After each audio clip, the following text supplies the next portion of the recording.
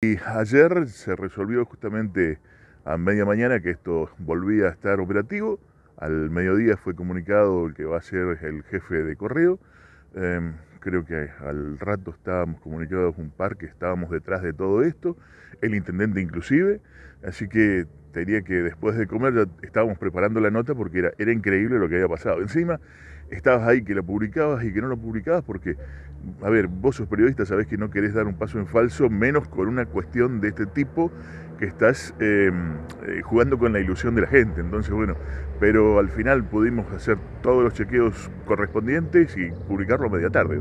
El correo va a funcionar de la siguiente manera. El que es conocido aquí por, por toda la gente, Mauricio Pese, quien ha estado en esta, en esta sucursal mucho tiempo y que repartía las cartas, además de ayudar acá y que conoce toda la mecánica. Hace un tiempo eh, fue de jefe a eh, Carmenza. Así que él va a repartir su tiempo entre Alvear Oeste y Carmenza, eh, con el mismo sueldo, me dice. Le digo, ¿va a cobrar doble? No, con el mismo sueldo.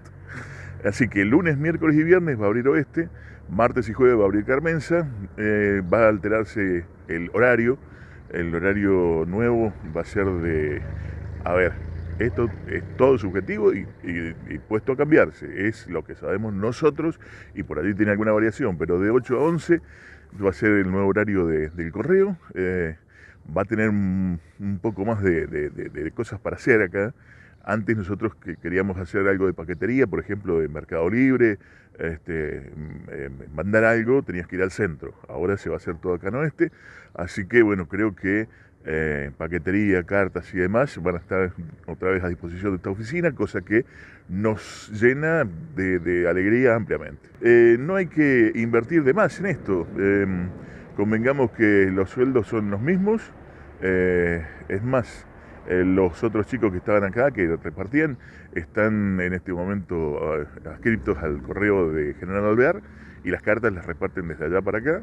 Así que creo que al Estado no le va a costar eh, más dinero. Eh, al contrario, va a ser una cuestión de que este edificio va a estar abierto, no se pierde, tenemos las condiciones dadas para que, bueno, pueda quizá volver el registro civil acá, o sea, el, espacio está, el, casi te diría que eh, podría volver a ser lo que era antes todo esto y bueno, de alguna manera em, complementar justamente eh, otros servicios que tienen que ver con, con lo mismo, ¿no?